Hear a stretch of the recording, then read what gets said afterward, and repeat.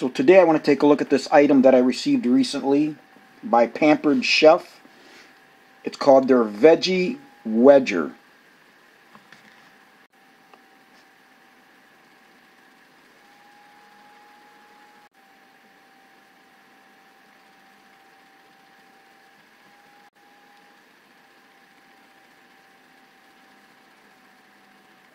I volunteer for a small dog rescue, and uh, they were having a fundraiser selling some of these products. And so one of them that I, one of the items that I did buy is this veggie wedger. And I do have to say I was extremely impressed with the construction. When I look at something, I like to see how well it's constructed and designed. And this thing is excellent. So as you would assume, it's in two pieces. You have the cutting head and then the base unit. Alright, let's take a look at the base unit first. You can see it's concave to allow the um, fruit or vegetable that you put in there to set. Got these index recesses that the slicer head uh, goes down into. And really nice, it's got this silicone base so that it doesn't move when you're using it.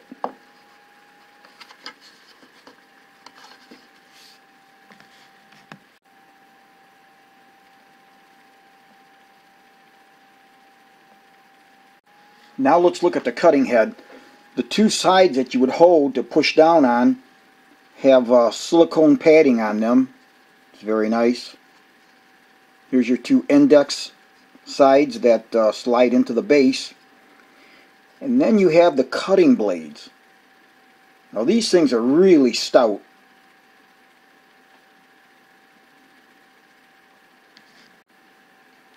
Now if you go to push on them, they don't flex.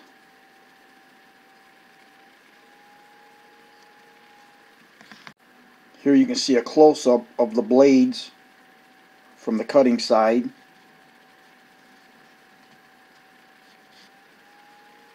Now let's check the thickness of those blades. That's pretty stout. 31 thousandths.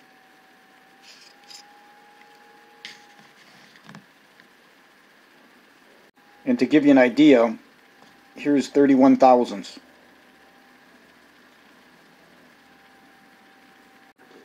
And it should go without saying, you want to be very careful cleaning this unit. Do not want to get your fingers near them blades. Okay, now another thing you have to consider is the diameter of that opening. So if you've got something bigger than about three and a quarter inches, it will not fit in here.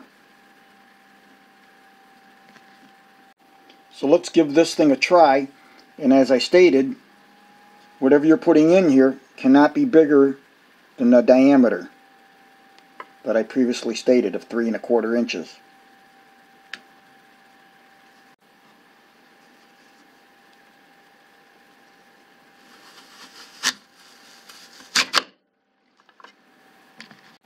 Now, I'm doing this behind the camera, so if I didn't have the camera in front of me, it would have been a little easier to push down because I'm back a ways. But that worked out very good. And as you can see, look at that.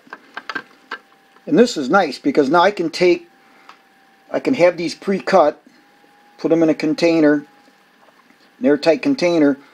And then for lunch or whatever, I can eat these smaller pieces. It's easier to eat something like this than the whole piece. And if you want to put them in some kind of a salad or something, you have these nice and sliced.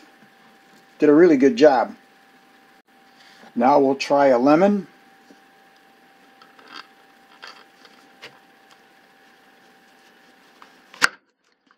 And again, I'm behind the camera, so I'm not really pushing down like I should be.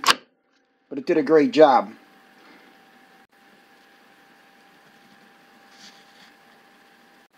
An orange.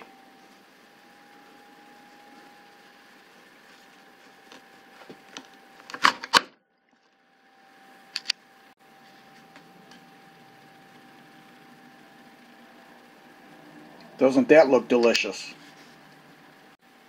Next, let's do an onion.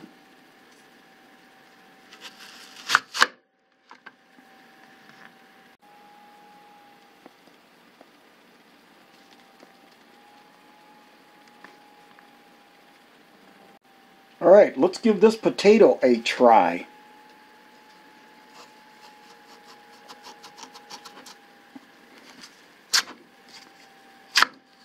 And again, I'm standing behind the camera, so if I was closer, I'm probably a good foot and a half away because I got the camera and the tripod.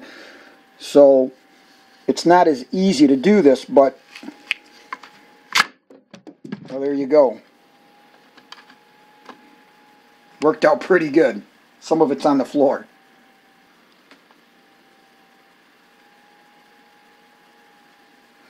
These are nice. You can put these on the grill just like this. Alright, so next let's try this tomato.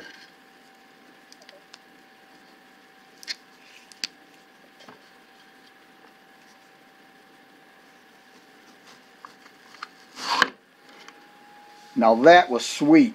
I love tomatoes, and this is a good way to put them in salads.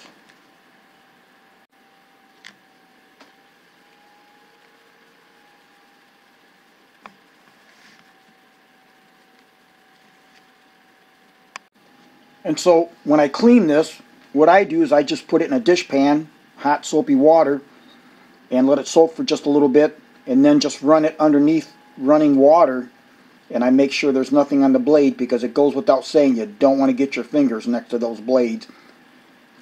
Wipe it down as much as I can, staying away from the blades, and I'll let it uh, air dry like that. I also want to state, which I didn't state earlier, it's got that nice point on that initial blade, which gives you a nice lead-in to when you push it down further into your vegetable or fruit.